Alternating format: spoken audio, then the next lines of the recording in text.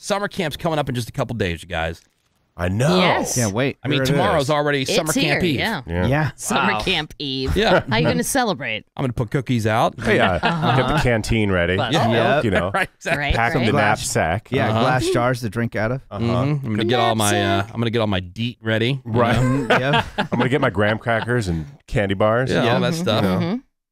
A pocket knife. And, Oh, yeah. And my Yeah. digging stick and all that. Mhm. Digging Your, ca- your khaki shorts. Yeah, because what Uh-huh. do you think when you turd out in the woods? you- You, you gotta Yeah, have you a have digging dig. stick. yeah, because you have to bury it. I know. I Can't just would. leave it out, right? Yeah, you have to have what they call the. It's it was called a digging and throwing stick.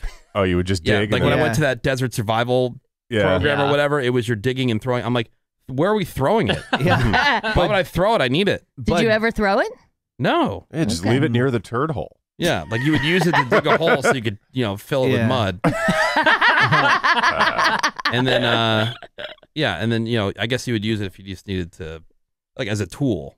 Yeah, Menace, Yeah. you would have Kill Yeah. something? Menace would have Uh, oh. died when I was a kid. I went on this camping trip to Yosemite with family Mhm. friends, and you had to do that: dig a hole and poop in the hole. Yeah. So there was a poop shovel, like a little reusable shovel, Mhm. and so what you would have to do is grab the shovel, grab the thing of toilet paper. Everybody saw you walking out into the Nope. woods, No, no, no. and everybody knows hmm. what you're doing. My question is Ew. like, why would you, like if you're out in the middle of nowhere, why do you have to bury it?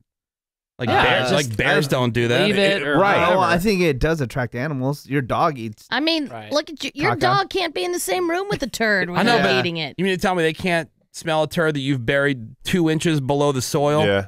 But You gotta but dig they deeper. Could, but they could smell something that's in a you know so a box of crackers that you've tied up into a tree.